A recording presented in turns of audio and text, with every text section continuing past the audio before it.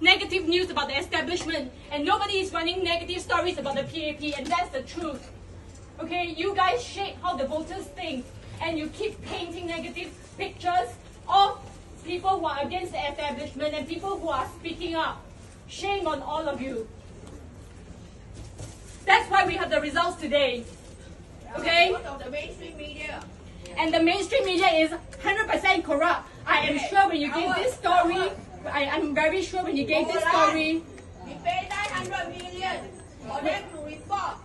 when, when you gave this story to, the, to your bosses, I'm sure they did not want to publish it outside the elections department. Don't you think that's a big So they are story? coming here to do all kind of crap things again.